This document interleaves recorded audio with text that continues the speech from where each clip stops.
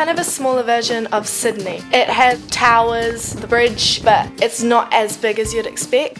Auckland's pretty famous for its Sky Tower. It is probably one of the most popular tourist destinations in Auckland. You can see all of the city and the harbour bridge.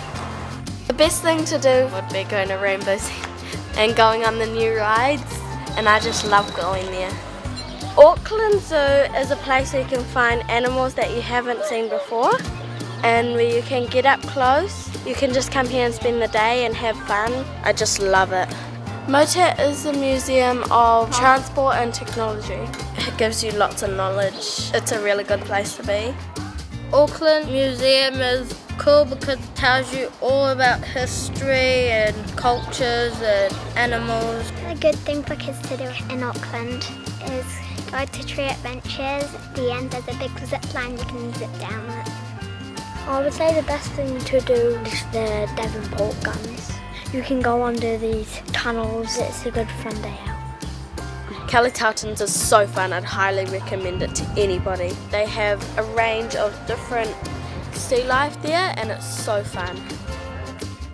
Auckland's Harbour Bridge connects the city and the more residential side of Auckland together and you can climb up to the side of it and actually bungee jump off.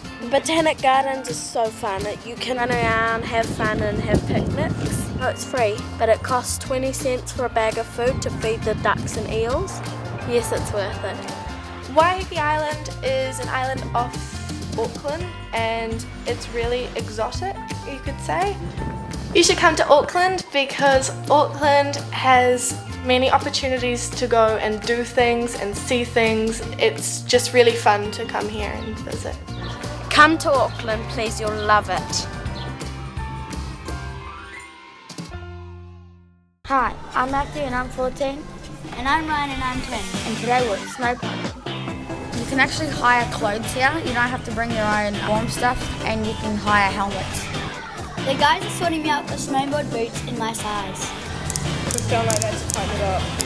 Time to go snowboarding now. Let's check out the slopes. Wow, these doors are heavy. There's two lots to go through to get to the snow. It's just like real snow. It's really cold as well. Okay, I have a pass that allows me to go snowboarding and skiing. But first up, I'm going to try snowboarding on the beginner slopes to see if I got any skill.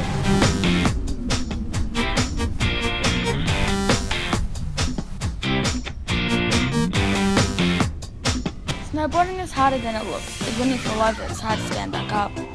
My top tip is to hold on to the platter when you're going up and don't lean too far back or otherwise you'll just fall off. I found snowboarding a lot harder than skiing. I'm going to have a go at skiing now. I've moved from my snowboard. In skiing, you can move both legs individually and you're a lot more free. You also go faster on skis. Mum's watching us from the cafe and she can see everything we're doing through the big windows. Best thing about today was being able to go down the slopes and having good fun on the snow. My top tip if you're going to visit Snow Planet here is to bring a beanie because it's quite cold out there. At the moment it's negative 3 degrees. I'll rate Snow Planet at 10 out of 10 because it has lots of fun stuff to do. I rate Snow Planet a 10 out of 10 and if you're a cold lover you're going to love this place. So fun. I guarantee you'll enjoy it if you come to Snow Planet.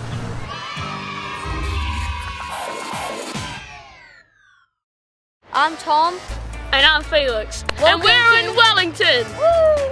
Wellington is a very nice place to visit. It's got beautiful beaches. It can get quite hot, but usually it's windy and it's a good place to come. I reckon the best thing to do in Wellington is go to Te Papa. Ew.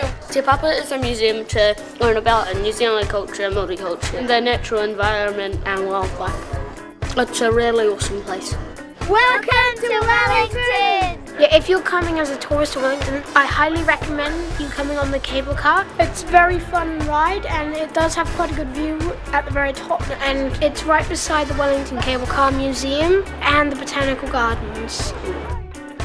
We're here at the Botanical Gardens. It's loads of fun. You can just go for a walk, play, climb trees. Why don't you go check out the bucket tree here in Wellington City? There's also an observatory and it's good for stargazing It's free, loads of fun, lots to do. You can spend a whole day here basically. Go to the Wellington City and see. It's very fun. It, it teaches you about a lot of stuff, especially the City NC. I think where it gets its name from. Wellington is the capital city of New Zealand. Our Prime Minister works in the Beehive. The Parliament building is called the Beehive as it is in the shape of a beehive, and you can get guided tours around it to show you all around. Wellington Zoo is a place to go. I would recommend it on a sunny day, not a windy day. If it's too windy, a lot of the animals will be in its cage. It is free to view the Weta Cave that shows you smallish props from stuff like Lord of the Rings and The Hobbit, but you can pay a little bit extra if you want to have a guided tour around all their special props and their behind the scenes work. It's very worth visiting. We have a few mini golf courses, the best of which is Carlucci Land. It's like made by this one guy. He makes loads of really cool things. It's a really good course and it's really crazy. I would describe Wellington City as a fun place to do a range of activities. It's a great city for everyone. And now you know a bit about this great capital. I'm Tom. And I'm Felix. And we're, and we're going, going, to Te Papa. Te Papa is a museum to learn about New Zealand culture and multicultural, the animals in New Zealand, the natural environment and wildlife. Max was our tour guide. He showed us some really cool stuff and he also told us some really good information. We're, We're going, going into into the Awesome Forces. It's scary. Awesome Forces is showing you about how New Zealand was formed and how it's still changing right now. And we went in the Earthquake House too and yeah, we loved Awesome Forces. We uh, went to the mountains, the seas and learned about nature and bird life. That's the only colossal squid that's on display anywhere in the world. It weighs half a ton. Did you get this book? Yes, I got it. This is nature space. We got to zoom in on rocks and insects, so that was cool. Welcome to Lice Age. The blue whale weighs as much as 52 elephants, and it is as big as a plane. We're going to Blood, Earth and Fire. Uh, it's, really, good. There are no native mammals in New Zealand, except the native bat. We went to the marae and we did some brass rubbing. I like the ancestors of Europeans and Maoris, the gardening one, and the person in jail. Papa is a really good place to go if you're visiting Wellington, so I recommend to go here.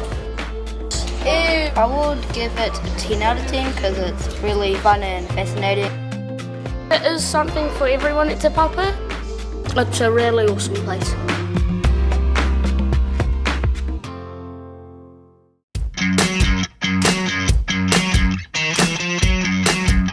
One of my favourite things to do during the winter is to go skiing here, in the mountains that surround Queenstown. The winter season starts in mid July and ends in the beginning of October. Around Queenstown, there are three places to ski Remarkable Ski Field, Coronet Peak, and Cardrona Alpine Resort. Coronet Peak is closest to the town centre and is often associated with ski race as they have a big team called Quast. They also do night skiing on a Friday and Saturday night. The Remarkables is very family orientated and really good for beginners. They also have a great terrain park.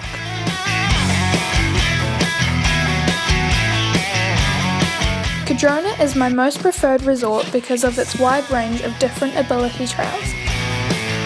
Cardrona also has the only Olympic halfpipe in the Southern Hemisphere. They also hold the annual New Zealand Winter Games and have one of the best terrain parks, backcountry and on-piste trails.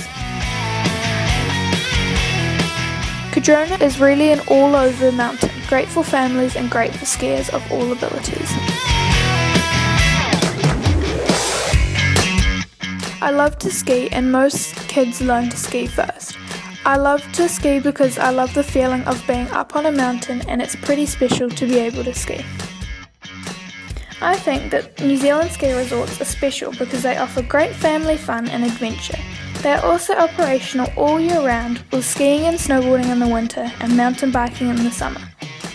I think that you should definitely come to New Zealand and definitely Queenstown because New Zealand is such an amazing place. It's so beautiful everywhere you go, and there's so many things to do here, whether it's skiing, bungee jumping, hiking, jet boating, or any of the many other things that you can do here. It's such an awesome place to come to.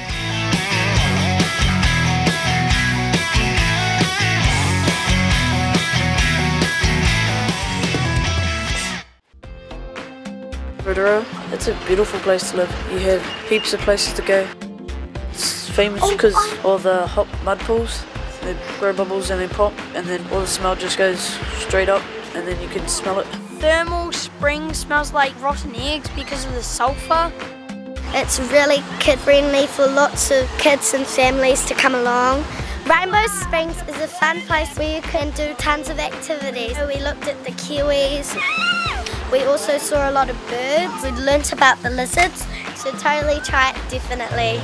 Itai is a multicultural experience. It can help you learn more about the Māori culture in New Zealand. We've put a lot of effort into it. The setting's amazing. I definitely think they should come. You can go to the museum, you can learn about the history, and you can make stuff. And when it's Halloween, it's spooky as to go there. Today we're at Huka Falls Jet Boat Ride. we live very, very close to the trees. It's awesome! Agrodome is really fun because there's lots of different species of animals here. We went on the farm tour, we went to the nursery and my favourite part would have been milking the cow because I don't really milk cows very often. It was really fun but I splattered milk on myself. Skylines Garage, which you can go up in a gondola and then you go up to the top and you can see the whole city from the top of the mountain, which is Mount Ngongotaha. Going on the luge, it's really fun because you zoom down on a little cart. The Redwoods is the biggest forest. You can go mountain biking, you can take your horse there or go for a walk. Rotorua is good because there's a variety of different choices for you and your family to do and it's a really fun place to come. Bye Rotorua! Kia ora koutou katoa. Welcome to Hell's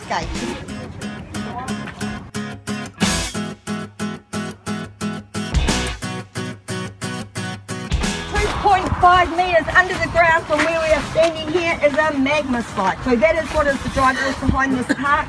This one here is the Hell's Gate pool The darker the mud, the higher the temperature of the water will be. The landscape is laden with sulphur. It's good for you to snuff it up into your lungs. It really is, is it? Yes, it is. Oh, and it clears the lungs. The reason why these waters are able to go in excess of 100 degrees is because of the minerals in the mud. They elevate the heat. Every pool in the park has its own uh, steam chambers and water reservoirs. The tribe would come along and they'd see that it was pointing this way then the last guy in the tribe would turn it over or throw it another way. So if they were being followed, they'd go the wrong way. Te Mimi o Kakahi means the urine, and before they knew about the healing properties in the sulphur, they used to use urine to heal their cuts and wounds. Scientists know that in the ground here, under the surface, is a tremendous amount of methane gas. Mm. And they have found living in our soil here is a methane methanotroph, they call it, and it is, eats methane. Only eats methane. Eats farts. there you go. Anywhere where methane is produced, this little bug is eating it all up.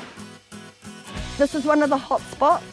When the air temperature up here gets to be in about the 30 degrees, the ground is going to be in excess of 120 degrees. And in the right mix of these conditions, but bang, up she goes. This one is of interest because it's the largest known mud volcano to be in existence that has not collapsed yet. This is one of our islands that's held in the heart. The steaming cliffs, anywhere between 122 and 144 degrees. And that's only unto about a metre. And then they cannot take the temperature any further than that. The, the equipment keeps breaking. So in our park we've got grey mud, black mud and we have magic white mud. cosmetic companies want to give us millions and millions of dollars for this mud because it's used to make sunblock, moisturisers and all kinds of things. What you have to do is you just got to put a bit of friction into there and then it just starts turning into this amazing cream thing. And we've got a cold water creek that you can wash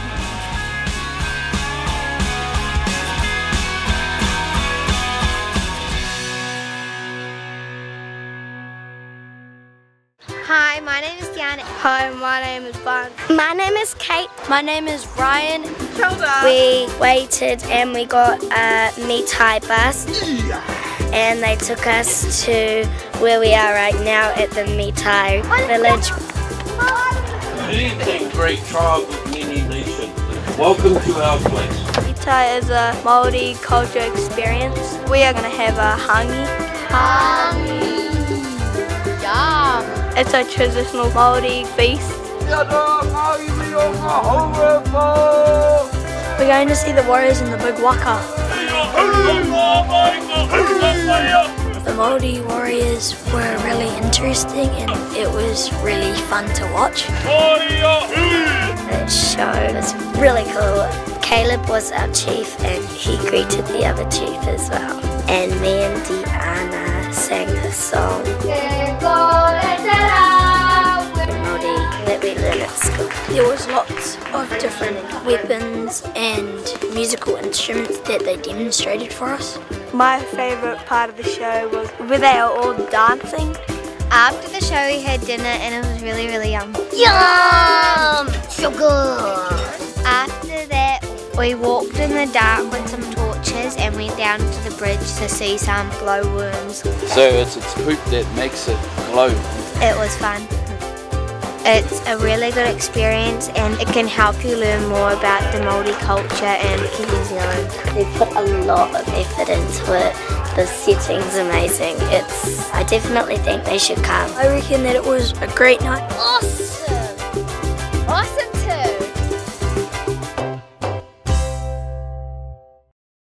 Hi, I'm Holly. I'm 12. My hometown's Queenstown, and Queenstown is it's kind of a crazy place.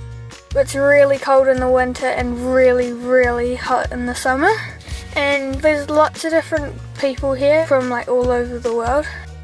There's a big lake and there's a mountain so it looks quite alpine and in the winter they have lots of snow on them. In Queenstown there's three places you can ski and they're all very different. There's Coronet, then there's Remarkables, and then Cardrona's a little bit in between. Well, there's a lot of things to do in Queenstown. The gondola is really nice for the views and they have a luge up there and they also do a, a night star experience which is cool. The luge, two track, the scenic track is the track just to get you started and then the other track is just a faster and difficult track. You can get quite fast on the luge, bit of adrenaline rush. The Segway is also quite scenic but also lots of fun for kids. It was hard at the start but once you got the hang of it it was really easy and yeah fun. Went on the Shotover Jet, which is awesome, exciting and freaky. We're really close to the rocks. Not many people get to do this around the world. Awesome, amazing and scary. My favourite thing is Zip Trek.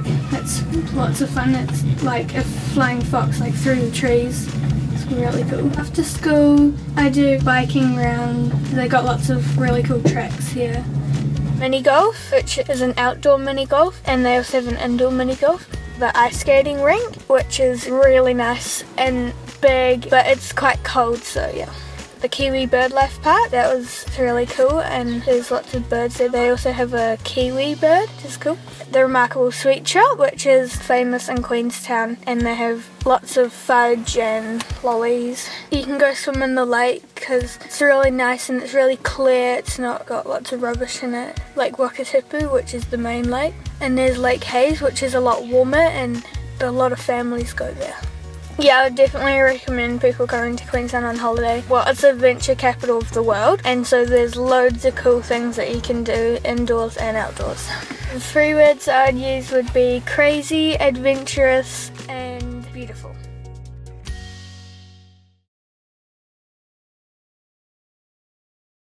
Hi, my name is Finn and I'm 12 years old and I live in Christchurch. It's a warm, bustling place with lots of flowers because it is called the Garden City for a reason. During 2011 and 2010, there was a massive earthquake that damaged most of the city. Well, the city's now being rebuilt and being built better, which is pretty cool. This guy built the new cathedral, which is made out of cardboard and it's all colourful and looks really, really good. It snows really close during winter. In fact, it snows in the city. It's snowed three years in a row. If I could recommend anything for kids to do in Christchurch, I would recommend the gondola and some of the amazing beaches and the Brighton Pier. Came through New Zealand, it's great. Walking around back then must have been pretty freaky. Lots of exhibitions, good Egyptian exhibition. It's really good and I definitely, definitely recommend it. Quake City's excellent. All the exhibitions are great, and, and yeah, it's just really fun. The International Arctic Centre is where you can explore the history of all the different countries in Antarctica, and you can go in a room where there's a snow blizzard, and and it's really, really good. The Restart Mall is a place to well, it's a mall. You can go shopping, eat, do whatever you want, and it's pretty cool because it's made out of containers. Lots of people there, it's nice. On the River Avon, you can go punting, kayaking, and it's really good. Weekend markets are great. There's tons of different stalls, and it's really good and a good spot as well yes, I would recommend families come to Christchurch because it's a beautiful city with great forests and beaches and great exhibitions. Really, really good. Tom, take it away. Kilda. Hi, I'm Bella. I'm from Auckland. Hello. Hi, I'm Holly and my hometown's Queenstown. It's a beautiful place to live. Welcome. I'm my name's Finn and I live in Christchurch. Welcome to Wellington. Yeah. This is exciting. Ah! It's scary. It can help you learn more about the Māori culture. Oh, it's really cool. The scenery really got me because it was so beautiful. Just loads of fun, there's nothing better. So much fun. I think I'd say it's awesome. I definitely, definitely recommend it. Wasn't really expecting it, but man, it was amazing. It's kind of a must see. It's just a really good place to come. You'll love it. Cheers. Was it? Oh, oh, oh. And so she thinks, oh, Jenny, Jenny, honey.